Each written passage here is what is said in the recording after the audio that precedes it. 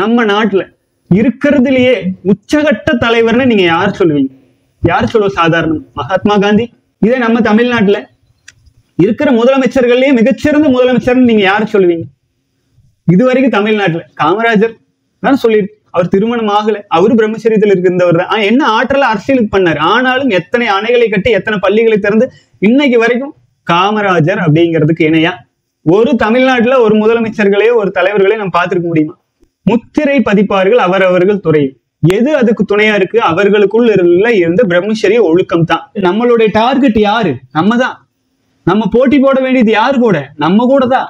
இதுதான் ரியல் எஜுகேஷனே புரிஞ்சுதுங்களா? வாழ்க வளமுடன். சிலிபஸ் சொந்தங்களுக்கு பிரம்மச்சரிய சொந்தங்களுக்கு தமிழ் பேசும் நல்லுள்ளங்கள் அனைவருக்கும் பணிவான வணக்கம்.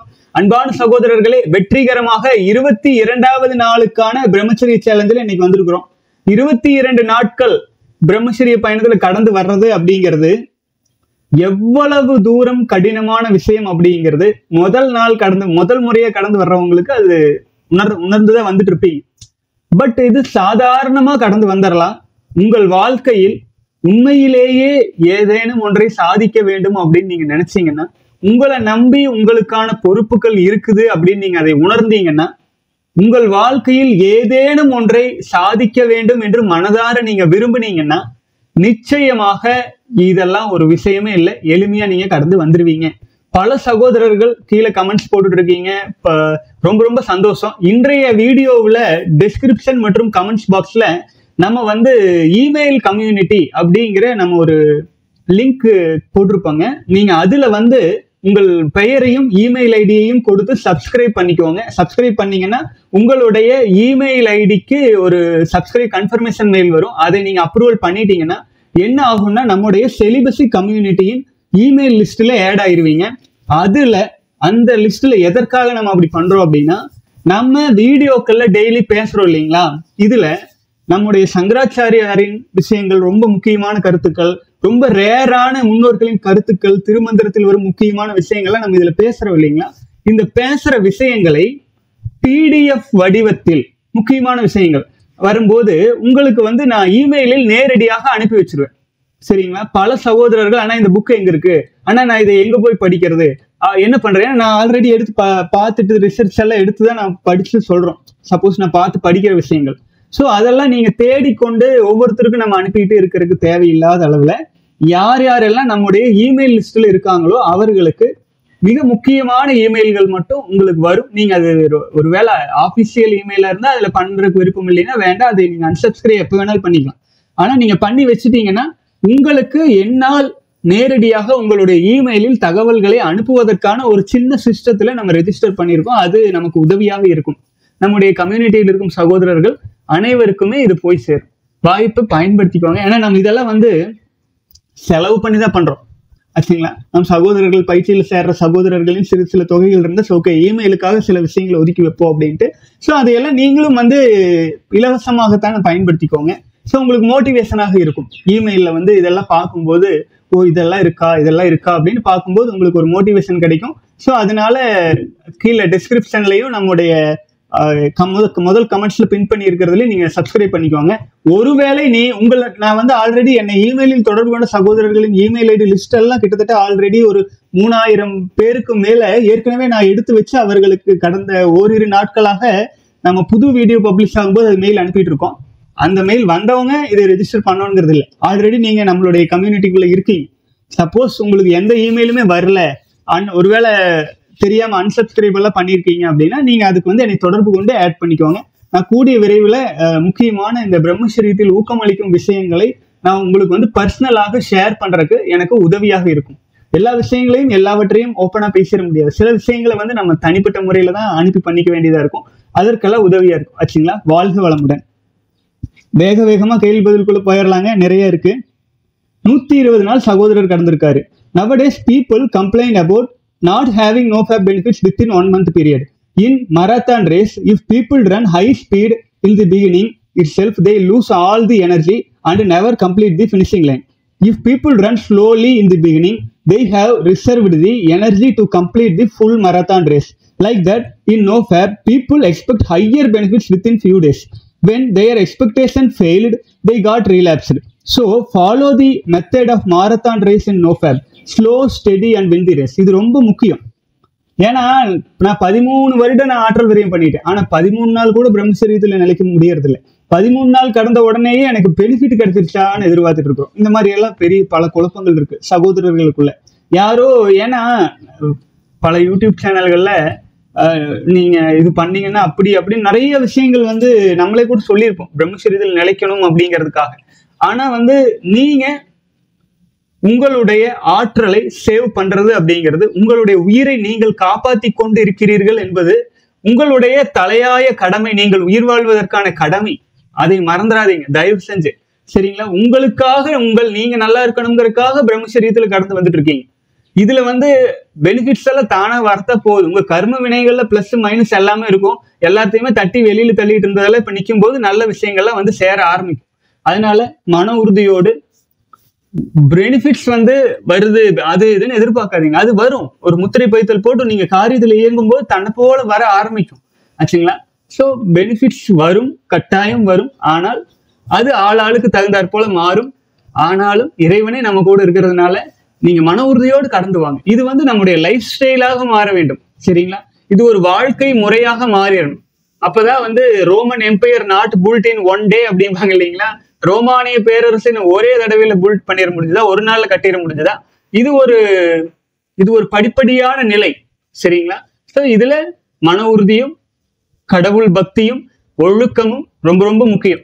ஏன் புத்த மதத்துல பஞ்சசீல கொள்கைகள்னு வச்சு பொய் பேசாத அஹ் அளவுக்கு மீறி சாப்பிடாத பல்வேறு விஷயங்களை ரெஸ்ட்ரிக்ஷனா வச்சு ஏன் ஒரு குருகுல கல்விகள்ல பல்வேறு குருகுலங்கள்ல அந்த காலங்கள்ல ஏன் இந்த மாதிரி ஒழுக்க நடைமுறைகள் எல்லாம் ரெஸ்ட்ரிக்ஷனா வச்சாங்கன்னா அந்த ஒழுக்க நடைமுறையே நம்ம பிரம்மச்சரியத்துல நீண்ட நாள் எடுத்துட்டு போயிடும். ஆச்சுங்களா? சோ அது போல இப்போ ஒழுக்க நடைமுறைங்கிறது இல்லாமல் இருக்கு. அப்போ அது அதை நம்ம கொஞ்சம் கொஞ்சமா நம்ம வாழ்க்கையில் இப்பதான் நடைமுறைப்படுத்த ஆரம்பிச்சிருக்கிறோம். ஸோ கொஞ்சம் கொஞ்சமா பெனிஃபிட்ஸ் வர ஆரம்பிக்கும் மன உறுதியோடு பிரம்மச்சரியத்துல கடந்து வாங்க. ரிசல்ட் மேல பக்தி வைக்கிறத விட இந்த ப்ராசஸ்ல உங்களை மேம்படுத்தி கொள்ளுவதற்கான ஒரு ஒரு கற்களாக நீங்க அடுக்கி உங்கள் ஆற்றலை டிரான்ஸ்மிட் பண்றீங்க இல்லையா? தியானம் பண்றதுல யோகா பண்றதுல அதுல உங்களுடைய ஆர்வத்தை கவனத்தை செலுத்துங்க. சரிங்களா? செயல்பாடுகளில் கவனத்தை செலுத்துங்க. அனுபவியுங்கள். அனுபவத்தில் கவனத்தை செலுத்துங்கள். ரிசல்ட்டை விட. ஆச்சுங்களா வாழ்க வளமுடன். அடுத்தது அண்ணா எனக்கு இருபது வயசு ஆகுது. பதிமூணு வயசுல இருந்து சுய இன்பம் பண்றேன். நான் பல தடவை தொண்ணூறு டேஸ் நோ ஃபேப் தாண்டலான்னு நினைப்பேன். ஆனா இப்ப வரைக்கும் தாண்டல. இப்போ ஏழு நாள் தாண்டி இருக்கேன். என் ஃப்ரெண்ட்ஸ் என்ன கேலி செய்வாங்க. மற்றும் மட்டம் தட்டுவாங்க. டிஸ்ரெஸ்பெக்ட் பண்ணுவாங்க. மதிக்க மாட்டாங்க. என்னை சுத்தி எல்லாருமே என்ன வாய்ஸ் லோவராக இருக்கு. என்னால் வேர்ட்ஸ் ஆர்டிகுலேட் பண்ண முடியலை. ரொம்ப வீக்காக ஃபீல் பண்ணுறேன் எனக்கு ஒரு வீடியோ பண் போடுங்க. வாழ்க வளமுடன். இந்த சகோதரர் நிறைய முறை கேள்வி கேட்டிருப்பாருன்னு நினைக்கிறேன். ஏற்கனவே நான் படிச்சிருப்பேன்னா எனக்கு சரியாக ஞாபகம் இல்லை. பதிமூணு வருடம் கடந்திருக்கீங்க. இருபது வயசு இருக்கு. இருபது வயசு தான் ஆயிருக்கு. இன்னும் ஐந்து வருடங்களுக்கு உங்களுடைய ஆற்றல் உடல் வளர்ச்சியே இருக்கு.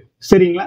எல்லோருக்கும் எல்லா எனக்கு தெரிஞ்சங்க நான் ஒரு சின்ன உதாரணம் சொல்லணும்னா நான் பள்ளியில் படிச்சுட்டு இருக்கும்போதே ஒரு என் பள்ளி தோழனா கூட படிச்சுட்டு இருந்த வந்தவர் ஒரு அஞ்சாவது ஆறாவது படிக்கும்போது பார்த்தீங்கன்னா ரொம்ப வெகுளியா இருப்பாரு. ஆனா ரொம்ப ஹைட்டா பத்தாவது படிக்கிற பையனை போல ஹைட்டா இருப்பார். மனநிலை பார்த்தீங்கன்னா ரெண்டாம் கிளாஸ் மூணாம் கிளாஸ் மனநிலை ரொம்ப குழந்தைத்தனமா ரொம்ப ரொம்ப ஜா ரொம்ப ஒரு அமைதியா எனக்கு ரொம்ப பிடிக்கும். அவர் எங்க கூடவே சுத்திட்டு இருப்பார். ஆனா எனக்கு அவருக்கு பார்த்தா ரொம்ப ஹைட்டா இருப்பாரு ரொம்ப ஆச்சானுபாகவா இருப்பாரு. ஆனா பார்த்தா மனசு ரொம்ப குழந்தை மனசா இருக்கும். அப்போ அது என்ன கணக்குல நம்ம எடுத்துக்கவே முடியாது. ஆனா வந்து பாத்தீங்கன்னா இப்ப பாத்தீங்க அப்படின்னா அவரு ஒரு மிகச்சிறந்த தொழிலதிபராக ஒரு நல்ல நிலையில தான் இருக்காரு. மன மனநிலை நல்ல மனநிலையில சின்ன வயசுலயே நிறைய அனுபவங்களை பெற்று ஒரு நல்ல தொழிலதிபரா சிறப்பா வாழ்க்கை போயிட்டு இருக்கு அவருக்கு. ஸோ நம்ம இதெல்லாம் பார்க்கும்போதுங்க இந்த வயசுல உங்களுக்கு இந்த மாதிரி இருக்குது அப்படின்னா இது நிரந்தரம் அல்ல. உங்களுக்கு தயக்கம் கூச்சம் என்னென்னு வேணாலும் இருக்கலாம். ஏன்னா நம்ம வந்து அடிமட்டத்தில் இருக்கிறோம். ஆற்றல் பிரியம் பண்ணி பண்ணி. அப்ப எல்லாமே இருக்கதான் செய்யும். ஆனா பிரம்மச்சரிய நாட்களை அதிகரிச்சு அதிகரிச்சு ஒரு இருபத்தஞ்சு வயசு வரைக்கும் உங்களை யாராச்சும் இப்ப கல்யாணம் பண்ணி சொல்றாங்களா? சொல்லுங்க இருபது வயசு ஆகுது. யாராச்சும் பண்ண சொல்றாங்களா? இல்ல. உங்களை யாராச்சும் வந்து வழியை வந்து உங்களுடைய ஆற்றலை பால் கறக்கிற மாதிரி கறந்து வெளியேற்றி விட்டுறாங்களா? இல்ல. உங்களுடைய இந்த நிலைக்கு நீங்க தான் காரணம் ஆயிடுறீங்க அப்ப நீங்க தான் படிப்படியா மேலே இருந்து வர வேண்டும். உங்கள் மேல நீங்க தான் அன்பு செலுத்தணும். நம்ம இதை இத்தனை வீடியோஸ் போட்டிருக்கிறோம். தயவு செஞ்சு பாருங்க. தயவு செஞ்சு தியான தவ யோக பயிற்சிகளை எல்லாம் கற்றுக்கொள்ளுங்கள். நமக்குள்ள போகும்போதுதான் நாம் வலிமை அடைவோம். நம்முடைய கவனம் எல்லாம். நமக்கு வெளியில போகும்போது நாம் பலவீனம் அடைவோம்ங்கிறத ஆழமா பதிய வச்சுக்கோங்க. வாழ்க வளமுடன். கொஞ்ச நாள் பிரம்மசரீரத்தில் நிலைச்சிட்டு வாங்க சகோதரர் பத்து பதிமூணு நாள் கூட நிலைக்கலைன்னா இந்த வயசுல அப்படி என்ன பண்ண முடியும்? யாருமே அறிவுரை ஏன்னா நான் கேட்க இப்ப நான் பேச குடிகாரம் பேச்சு விடிஞ்சா போச்சும்பாங்கல்ல. அந்த மாதிரி ஒழுக்கத்துல நிக்காதவன் பேச்சு ஆற்றல் விரயம் பண்ணா போச்சு. அவ்வளவுதான். அதுக்கு ஆற்றல் விரயம் பண்ற வரைக்கும் தான் உங்களுடைய எல்லா ச- எல்லா சத்துக்களும் இருக்கும். ஆற்றல் விரயம் பண்ணிட்டீங்கன்னா பூரா போயாச்சு. மறுபடியும் ஜீரோல இருந்து ஆரம்பிக்கிறது. அப்படியே தான் ஆயிருவீங்க. உறுதியா வாங்க. அதுக்கு தான் நம்ம சேலஞ்ச் போட்டு இருக்கிறோம். எவ்வளவு சேலஞ்சஸ் இருக்கு. பழைய வீடியோக்கள் எல்லாம் எடுத்து பாருங்க. நல்லா லோட் பண்ணி பதிய வச்சுக்கோங்க. வெளி விஷயங்களை பதிய வச்சு பதிய வச்சு உடம்பு மனசு அழுக்கு ஏறி கிடக்குது. அப்போ இது போன்ற விஷயங்களையும் நிறைய கேட்டு உங்களை நீங்கள் மேம்படுத்திக் கொள்ளுங்கள். வாழ்க வளமுடன். Dear Prakash brother recently one of my relatives went to Nepal for tourism and he purchased Rudraksha for me and uh, told he we uh, wearing Rudraksha will automatically open the Agna Chakra and protects from ancient death. Sorry, accident death. He told me that it's that is why yogis and sannyasis wearing Rudraksha and it helps to open Agna Chakra. Many Perumal devotees not using Rudraksha. Instead, that they are using Tulasi Mala only because Rudraksha is used by Shiva devotees only. My question is for family person uh, having sex regularly, how Rudraksha protects him? Did you come across any Siddharthans related with Rudraksha? If it is, kindly share me. வாழ்க வளமுடன் அன்பான சகோதரர்களே சகோதரரே இந்த ருத்ராட்ச மாலை என்பது சூட்சுமம் சூட்சும விளக்கம் சூட்சும பொருள் புரிஞ்சுக்கோங்க நம்முடைய சித்தர்களின் பாதையில சித்தர்கள் பாதையில எல்லாமே சயின்ஸ் பியூர் சயின்ஸ் ருத்ராட்சம் என்பது நல்லா கவனிக்கிற ஒரு ருத்ராட்சத்தை எடுத்து பார்த்தீங்கன்னா உங்களுடைய விதைப்பை மாதிரியே தான் இருக்கும். அதனுடைய உருவமைப்பு. அந்த விதைப்பையில் ஆற்றல் விரயமாகி போற விஷயத்த தனக்குள்ளாகவே வியர் பண்ணிக்கிறீங்க அப்படின்னா விந்துஜயம் பயிற்சி ஆக்னதவம் பண்ணி விரயம் பண்ணிக்க விரயம் பண்ணாம ருத்ராட்சத்தில் இருக்கும் ருத்ராட்சம்ங்கிறது விதைப்பை தான். ருத்ரனின் அக்ஷம். ருத்ரனின் அக்ஷம். இறைவனின் இறைவனின் வெளிப்பாடு ருத்ராட்சம். அப்போ அந்த ருத்ராட்சம் போல் இருக்கிறது எங்க எங்க அணிய சொல்லியிருப்பாங்க தெரியுங்களா? அந்த யோகிகளை எங்க அணிஞ்சிருப்பாங்கன்னா கழுத்து கழுத்துக்கு மேல் மேல் பாகங்களை தான் அணிவாங்க. கழுத்துங்கிறது ஆகாயத்துக்கு வந்துடும் அடுத்ததாக கொண்டை வச்சு கொண்டையில சுத்திக்குவாங்க. என்ன? விதைப்பை வழியாக ஆற்றல் விரயமாகாமல் நம்ம வந்து ஆற்றலை மேலே அணிந்து கொள்கின்றோம். ருத்ராட்சத்தை அணிந்து கொள்வதால் அவருக்கு ஆக்னா சக்கரம் இயங்காது. ருத்ராட்சம் என்று நம் முன்னோர்கள் சூட்சுமமாக உணர்த்திய விஷயம் நம் விதைப்பையாக லஸ்ட்ல சிக்கி ஆற்றல் விரயம் பண்ணி நம்முடைய விதை வ- வழியாக விரயம் செஞ்சு விடாம யோசிச்சு பாருங்க. விரயம் விரை வழியாக வெளியேற்றி விடுவது. அப்போ அத விரைப்பை விரைப்பை தான் ருத்ராட்சத்தின் நம்முடைய உடலில் வெளியில் ருத்ராட்சமாக காட்டப்படுவது. இறைவனின் இறைவன் உறையும் இடமாக ருத்ராட்சத்தை ஏன் சொன்னாங்கன்னா எல்லாமே சூட்சுமம் தான். சூட்சமமாக சொல்லப்பட்ட விஷயம்தான். சரிங்களா? அதே போல சித்த ச- சைவ சமயத்துல சித்தர்கள் வெளியில வந்ததுனால பல்வேறு விதங்கள்ல இந்த மாதிரியான விஷயங்கள் மக்களுக்கு தெரிஞ்சோ தெரியாமலோ உணர்த்தப்பட்டுச்சு. எனக்கு யோசிச்சு பாருங்க ஒரு யோகிக்கு தலையெழுத்தா? ஒரு ருத்ராட்ச கொட்டையை எடுத்து தலையில அணிஞ்சு குடும்பஸ்தர்களுக்கு உணர்த்தணும்னு. ஆனா அவங்க உணர்த்தினாங்க நான் வந்து என்னுடைய விதைப்பை போல இருக்கிற விதைப்பைக்குள் இருக்கும் உயிராற்றலை நான் என் கொண்டையில் சூடியவன் காட்டுறக்காக அந்த ருத்ராட்சத்தை எடுத்து தலையில சூடிட்டு இருந்தாங்க மக்கள் நல்லா இருக்கணும் ஆற்றல் விரயம் பண்ணிடக்கூடாது இதை பார்த்தாலாச்சும் அறிவு அறிவு கட்ட இந்த உலகம் திருந்துட்டும் அப்படின்னு எடுத்து சுத்துனாங்க. அதே மாதிரியே வெந்நீர் எடுத்து நெத்தியில பூசுனாங்க. வெண் நீர் யோசிச்சு பாருங்க. யாராச்சும் பவுடர்னு சொல்லியிருக்கலாம் பொடின்னு சொல்லியிருக்கலாம் வெள்ளை பொடின்னு சொல்லியிருக்கலாம். ஏன் வெந்நீர்னு சொன்னாங்க? நம்ம உடம்புல இருக்கிறதுலயே வெந்நீரா வெளியில் வர்றது எது விந்து சக்தி தான். அதை கீழே விரயம் பண்ணாம எடுத்து பட்டை போட்டு யோகிகள் ரோட்ல தெரிஞ்சாங்க. கோயில் கோயிலா. அட லூசு பசங்களா? ஆற்றல் கீழே விரயம் பண்ணா செத்து போயிருவீங்கடா சீக்கிரம். நீங்க அதனால நான் பாரு ஆற்றல் விரயம் பண்ணாம நான் அதை மேல் எழுப்பி நெற்றியில் வச்சிருக்கிறேன் அப்படின்னு சூட்சுமமாக உணர்த்தப்பட்ட விஷயங்களை எல்லாம் இந்த பைத்தியக்கார உலகத்துல மக்கள் என்னவா பண்ணிட்டாங்க? நான் எடுத்து இது பண்ணா அது வந்துருமானா ஏனுங்க ஒரு யோகிக்கு ஆக்னா சக்கரம் இயங்குவதும் அவர்கள் மக்களோட மக்கள் மேல வச்சிருக்கிற அந்த கருணையினால் அதை எடுத்து சூடி உணர்த்தினாங்க. அவங்க பேச பேச விரும்பல. புரிஞ்சுதா? சூட்சமா சொன்னாங்க. ஆனா இங்க இருக்கிற உலகம் என்ன பண்ணிருது? அதையும் வியாபாரமாக்கி அதையும் ருத்ராட்சத்தை வாங்கி பண்ண அது பண்ண இது பண்ண அதையும் குழப்பி அதையும் படிச்சவன் பாட்டை கெடுத்தா எழுதினவன் ஏட்ட கெடுத்தான்ட்டு எல்லாத்தையும் சொதப்பல் பண்ணி வச்சு மக்களை அடிமாடுகளை போல மாத்தியாச்சு. புரியலையா உங்களுக்கு? பிரம்மச்சரிய நாட்களில் நீங்கள் நாட்கள் செல்ல செல்ல செல்ல சூட்சமான விஷயங்கள் எல்லாம் புரிய ஆரம்பிச்சிரும். இதுல எல்லாம் பெரிய மயக்கமே தேவையில்லைன்னு ஆயிரும். சரிங்களா? உங்களுடைய ருத்ராட்சம் என்பது எது? உங்களுடைய விரைப்பை தான். அது அதுதான் ருத்ராட்சம். அதுக்குள்ளதான் இறைவன் உரையிறான் உயிர் தான் சிவம். புரிஞ்சுதா? அதையே நீங்க இன்பத்துக்காக வெளியேற்றினீங்கன்னா நீங்க பலவீனமாய் சீக்கிரமாக மரணத்தை நோக்கி சென்று கொண்டிருக்கிறீர்கள். இது நீங்க எப்படி சுத்தி வந்தாலும் இங்கதான் நிற்கும் புரிஞ்சுதுங்களா?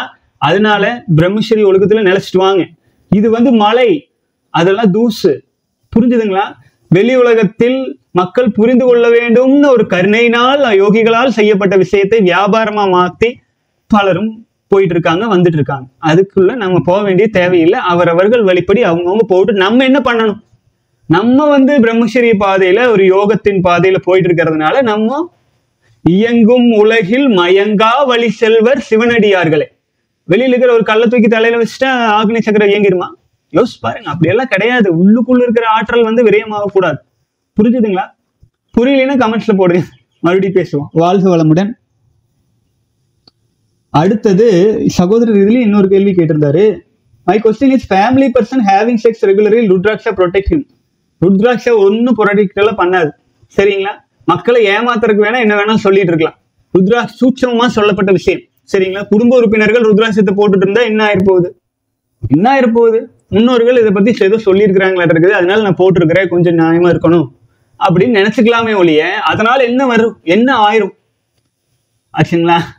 நான் வந்து ஹெச்டிஎஃப்சி பேங்க்குள்ளே போயிட்டு வரேன். நான் வந்து ஐசிஐசிஐ பேங்க்ல போயிட்டு வரேன். குடும்ப உறுப்பினர் ஐசிஐசிஐ பேங்க்குள்ளே ஹெச்டிஎஃப்சி பேங்க்குள்ள எஸ்பிஐ பேங்க்குள்ளே போயிட்டு போயிட்டு வந்து அவன் கோடீஸ்வரன் ஆயிடுவானா?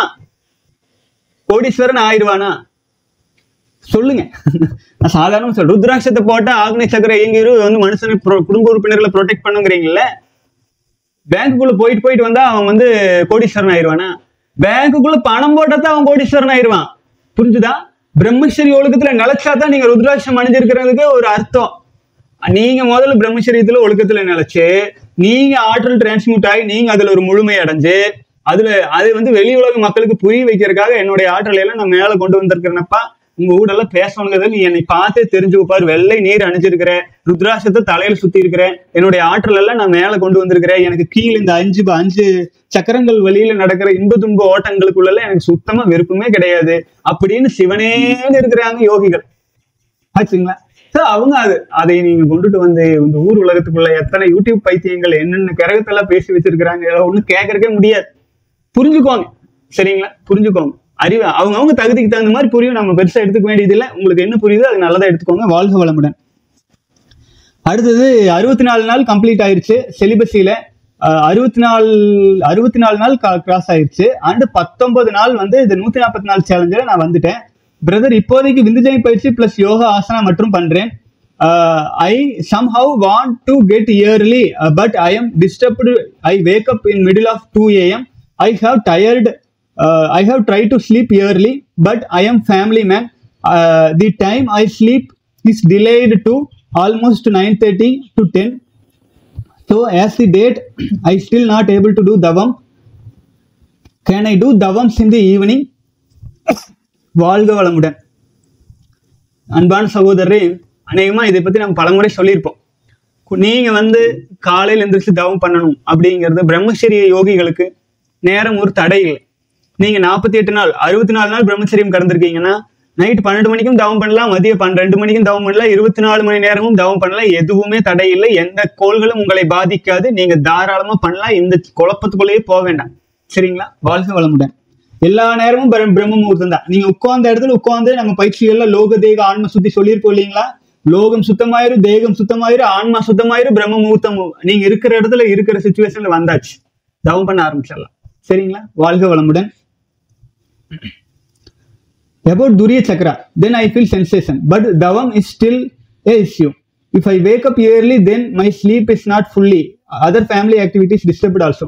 அதானுங்க நான் அதான் சொல்றேன் நீங்க ஒரு குறிப்பிட்ட விஷயத்துக்குள்ள சிக்கிக் கொள்ளாதீர்கள் நீங்க இயல்பா சீக்கிரம் முடி தூங்கி இயல்பா எப்ப எந்திரிக்கிறீங்களோ அப்ப எந்திரிச்சு தவம் பண்ண ஆரம்பிச்சிருங்க ஒருவேளை நீங்க கொஞ்சம் ஏர்லியரா தூங்குனீங்கன்னா விரைவில் எந்திரிக்கிறதுக்கு வாய்ப்பு இருக்கு தவம் பண்ண ஆரம்பிச்சிருங்க சரிங்களா எப்போது வேண்டுமானாலும் தவம் பண்ணலாம். உங்கள் வாழ்க்கை உங்களுடைய வண்டி இது காரு இது எக்ஸலேட்டர் இது பிரேக்கு இது வந்து இது இப்படி அமுத்தணும். எல்லாமே உங்களுக்கு சொல்லி கொடுத்தாச்சு. உங்களுக்கு உங்களுக்கு வந்து கொடுக்கப்பட்டாச்சு.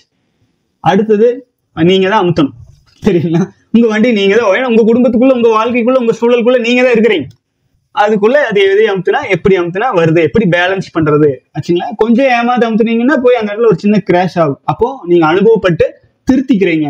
திருத்தி திருத்தி அடுத்தடுத்த ஸ்டேஜில் நீங்க இருக்கிற இடத்துல நீங்க வலிமையடைஞ்சிட்டே வர ஆரம்பிச்சிருவீங்க. அச்சா வாழ்க வளமுடன். வணக்கம் அண்ணா. செவன் ரிட்டர்ன்ஸ் என்ன? How to work the aura and electricity நோஃபேப்ல இருக்காங்கன்னு சொல்றாங்க. ஆஹ் முகமது அலி பாக்ஸர் அவர் அவர் மேட்சிங் முன்னாடி பிந்துவை கட்டுப்படுத்துவாரு சொல்றாங்க. ஹவு டு ஒர்க் அண்ணா? வாழ்க வளமுடன் அன்பான சகோதரரே. சாரி வணக்கம்னா செவன் ரிட்டர்ன்ஸ்னா என்ன? நம்முடைய உயிராற்றலை விரயம் பண்ணாமல் இருக்கிறது சுய இன்பம் பண்ணாமல் இருக்கிறது பெண்கள் பற்றி சிந்திக்காமல் இருக்கிறது பெண்கள் பற்றிய சிந்தனை வந்து ஆற்றல் விரயத்துக்குள்ள சிக்காமல் இருக்கிறது. இதெல்லாம் வந்து சாதாரணமாக உலகம் முழுவதுமே பல்வேறு யோகிகளால் வெளிப்படையா உணர்த்தப்பட்டது. நான் ஒரு ஒரு போட்டோ ஒன்று பார்த்தேனுங்க சாக்ரட்டிஸோ யாரோ ஒருத்தருடைய போட்டோ அவருடைய சிலை அந்த சிலையில அவருடைய ஆண் உறுப்பு படத்தோட சிலை வடிச்சிருப்பாங்க.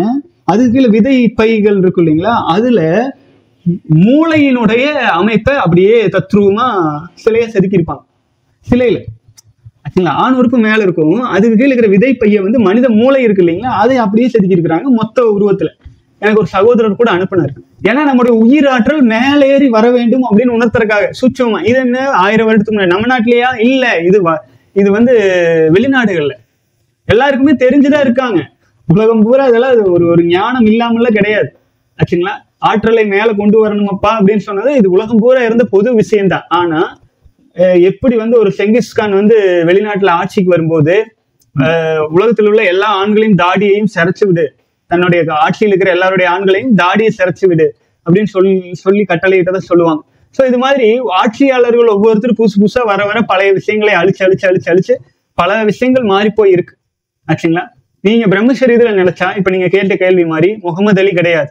முகமது அலின்ட்டு இல்ல. நீங்க தெளிவா ப- பாருங்க. கொஞ்சம் ஓபன் பண்ணி ஐஸ் திறந்து பாருங்க. நம்ம நாட்டுல இருக்கிறதுலயே உச்சகட்ட தலைவர்னு நீங்க யார் சொல்லுவீங்க? யார் சொல்லுவ? சாதாரணம் மகாத்மா காந்தி. அவருக்கு தான் சுதந்திரம் வாங்கி கொடுத்தாரு. அவர் தான் அவரை பத்தி தான் ஹையஸ்டா சொல்லுவாங்க. அவருக்கு கீழே தான் அவர் ஒரு ஹண்ட்ரட் பர்சன்ட்னா அறுபது பர்சன்ட்டுக்கு கீழே தான் மீதி இருக்கிற எல்லா தலைவர்களையுமே சொல்லுவாங்க. சாதாரணமாவே. நம்ம நாட்டை பொறுத்த வரைக்கும். அவர் பிரம்மச்சரியத்தை பத்தி எத்தனை சொல்லியிருக்காரு? யோசிச்சு பாருங்க அவருடைய வாழ்க்கையில் இருபத்தஞ்சு வருஷம் நான் பிரம்மச்சரியத்தை கடந்து வந்திருக்கிறேன். அதுதான் நான் வாழ்க்கையில ரெண்டு போராட்டம் பண்ணியிருக்கேன். ஒரு போராட்டம் சுதந்திர போராட்டம் ஒரு போராட்டம் பிரம்மச்சரிய போராட்டம்னு சொல்லியிருக்காரு. பிரம் சுய இன்பத்தில் மூழ்கிறவன் கிரைம் பண்ணியிருக்கிறான்னு சொல்லியிருக்காரு. அவருடைய வாழ்க்கை வரலாறு பாத்தீங்கன்னா அவ்வளவு தெளிவா சொல்லியிருப்பாரு. சரி உச்ச ஸ்டேஜ் வந்திருக்காரா? குத்துச்சண்டை கட்டுறதுல யாரு? முகமது அலி. தி ஹையஸ்ட் ஸ்டேஜ்ல குத்துச்சண்டை வீரர்னு பெருமையா சொல்ற மாதிரி இருக்கிற வீரர்கள்ல முகமது அலிங்கிறது எல்லாருக்கும் தெரிஞ்ச பேரா மாறிடுச்சு. கரெக்டா ஏன்? அவர் ஒரு நாலஞ்சு வருஷம் பிரம்மச்சரியம் கண்ட்ரோல இருந்து சண்டைக்கு ரெடி ஆயிருக்கிறார். அதனால இதே நம்ம தமிழ்நாட்டுல இருக்கிற முதலமைச்சர்கள்லயே மிகச்சிறந்த முதலமைச்சர்னு நீங்க யாரை சொல்லுவீங்க? இது வரைக்கும் தமிழ்நாட்டுல காமராஜர் தான் சொல்லியிருக்கு அவர் திருமணம் ஆகல. அவரு பிரம்மச்சரியத்தில் இருந்தவர் தான். ஆனா என்ன ஆற்றல அரசியலுக்கு பண்ணாரு? ஆனாலும் எத்தனை அணைகளை கட்டி எத்தனை பள்ளிகளை திறந்து இன்னைக்கு வரைக்கும் காமராஜர் அப்படிங்கிறதுக்கு இணையா? ஒரு தமிழ்நாட்டுல ஒரு முதலமைச்சர்களையோ ஒரு தலைவர்களையோ நம்ம பார்த்திருக்க முடியுமா? சொல்லுங்க. சாதாரணமா இன்னைக்கு வரைக்கும் பேசுறதுன்னா காமராஜர் ஆட்சின்னு சொல்ற அளவுல அவருடைய பெயர் நினைச்சிருக்கா. இது மட்டும் இல்லை. நீங்க எந்த துறையில எடுத்து பார்த்தீங்கன்னாலும் அதுல ஒரு நம்ம நாட்டுல குடியரசுத் தலைவர். இருக்கு இதுவரை வந்த குடியரசுத் தலைவர்கள்லயே பேர் சொல்ற மாதிரி இருக்கிற குடியரசுத் தலைவர் யாரு? அப்துல் கலாம். கரெக்டா மீதி எல்லாம் ராஜேந்திர பிரசாத் அது இது என்ன வேணாலும் சொல்ல படிச்சிருக்கலாம். ஆனா அப்துல் கலாம்ங்கிற பேரு குடியரசுத் தலைவர்களே நம்பர் ஒன்னா நூறு சதவீதம் அவர் இருந்தா மீதி எல்லாம் ஒரு ஐம்பது சதவீதத்துக்கு கீழே தான் இருக்கிறாங்க. ஏன்? அப்துல் கலாம் கல்யாணம் எல்லாம் பண்ணல. அவரும் ஒழுக்கத்துல இருந்திருக்காரு. பிரம்மச்சரி ஒழுக்கத்துல இருந்திருக்காரு. அவர் பேர் இன்னைக்கு வரைக்கும் இருக்கு. இன்னைக்கு வரைக்கும் இருக்கா இல்லையா? இது மாதிரி ஆச்சுங்களா? முத்திரை பதிப்பார்கள் அவரவர்கள் துறை. எது அதுக்கு துணையா இருக்கு? அவர்களுக்குள் இருந்த பிரம்மச்சரிய ஒழுக்கம் தான் புரிஞ்சுதுங்களா? அவங்க எந்த மதம் இல்லை. முகமது அலி ஆகட்டும் அப்துல் கலாம் ஆகட்டும் ஆஹ் வாஜ்பாய் ஆகட்டும் யாரே இருக்கட்டும் மிக உயர்ந்த ஸ்டேஜுக்கு வந்திருக்காங்கன்னு வைங்களேன். அவங்க வந்து பிரம்மச்சரியம்ங்கிற ஆற்றல் துணை இருந்திருக்கு. ஒன்னு ரெண்டு ஆதாரமெல்லாம் இல்லை. புரிஞ்சுதுங்களா? பீஷ்மர் வந்து நான் திருமணம் பண்ண மாட்டேன் அப்படின்னு அவர் சொல்லும்போது அவ- யோசிச்சு பாருங்க பீஷ்மர் வந்து நான் வந்து என்னுடைய ஆற்றலை விரயம் பண்ண மாட்டேன் இந்த தேசத்துக்காக அர்ப்பணிக்கிறேன்னு அவர் சொல்லி முடிக்கிறாரு. சொல்லி முடிச்ச உடனே அவரு கூட இணையாக இறைவனால் கூட சண்டை கட்ட முடியல. போர்னு வந்துட்டா பீஷ்மருக்குனே யாருமே இல்லை. அந்த அளவுக்கு உச்ச அவருடைய பிரம்மஸ்ரீ ஆற்றல் பஞ்ச பாண்டவர்கள். யாரு? தேவர்களுடைய குழந்தைகள் வந்து அம்பு விட்டு என்ன பண்ணாலும் அவரா ஆயுதத்தை கீழே போட்டா தான் அவர்கிட்ட நெருங்க முடியும். எத்தனை வயசு அவருக்கு? நூ அவர் கிட்டத்தட்ட நூத்தி ஐம்பதாவது அறுபதாவது வயசு இருந்திருப்பார். அவர்கிட்ட இளைஞர்களா இருக்கிற அஞ்சு பேர் போய் முட்ட முடியல. பரசுராமர் யாரு? மகாவிஷ்ணுவின் அவதாரம். அவரே பீஷ்மர் கிட்ட தோல்விதான் அடைஞ்சார். தோத்துட்டாரு. நீ எவ்வளவு நேரம் வேணாலும் நீ சண்டைக்கு வேணா நிப்ப அப்படின்னு அவரு பீஷ்மர் நின்னார் பீஷ்மர் ஜெயிக்கவே முடியலையே. இது உதாரணத்துக்காக நம்ம சொல்றதா? ஆச்சுங்களா? இது இந்த மாதிரியாக உங்கள் வாழ்க்கையில் நீங்கள் வெற்றி அடைய வேண்டும் என்றால் உங்க கையிலேயே தான் அந்த சக்தி இருக்கு. புரிஞ்சுதுங்களா? நம்ம போய் அவரை பத்தி படிக்கிறோம் இவரை பத்தி படிக்கிறோம் நான் ஒரு விஷயம் சொல்றேன். அப்துல் கலாம் பிரம்மசரீரத்தில் இருக்கிறாரு இருந்தாரு நல்லா இருந்தாருங்கிற நமக்கு என்ன பிரயோஜனம்? நமக்கு என்ன பிரயோஜனம்? ஹேர் தான் நோ யூஸ் அதே மாதிரியே காந்தியடிகள் பிரம்மச்சரியத்தில் இருந்தாரு அப்படிங்கிறதுனால நமக்கு என்ன பிரயோஜனம்? நோ யூஸ் நத்திங் அதே மாதிரி தான் காமராஜர் இருந்தாருன்னா நமக்கு என்ன? முகமது அலி இருந்தாருன்னா நமக்கு என்ன? நோ ஒரு ஹேர் இல்லை இந்த பிரகாஷ் பிரம்மச்சரி இருக்கிறான்னு உங்களுக்கு என்ன பிரயோஜனம்? நோ ஒன்றும் இல்லை. உங்களுக்கு எப்ப பிரயோஜனம் ஆகும்னா நீங்க பிரம்மச்சரியத்தில் நினைக்கும் போது பிரயோஜனமாகும். நீங்க பிரம்மச்சரியத்துல நீங்க நோ ஃபேப்ல நீங்க சீமன் ரிட்டன்ஷன்ல நீங்க உங்களுடைய வாகனத்துல சித்தி அடைந்து இது உங்களுக்கு ஒத்துழைச்சு வரணும். அதுக்கு என்ன பண்ணணும்? நம்ம கர்மாஸ் கம்மியா இருக்கணும்.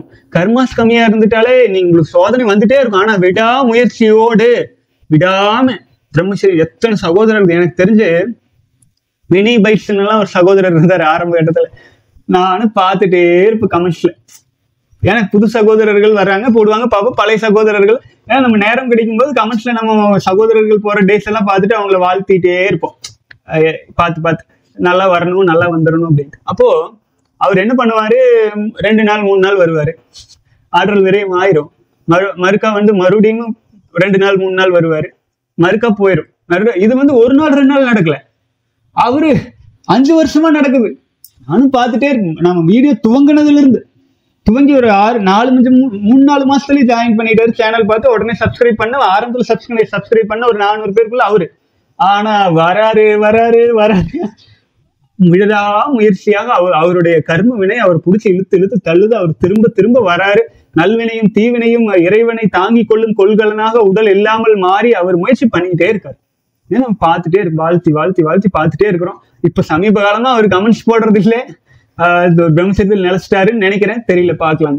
இந்த மாதிரி இது வந்து நமக்கு நம்ம வந்து நம்மளுடைய டார்கெட் யாரு? நம்ம தான். நம்ம போட்டி போட வேண்டியது யாரு கூட? நம்ம கூட தான். இதுதான் ரியல் எஜுகேஷனே புரிஞ்சுதுங்களா?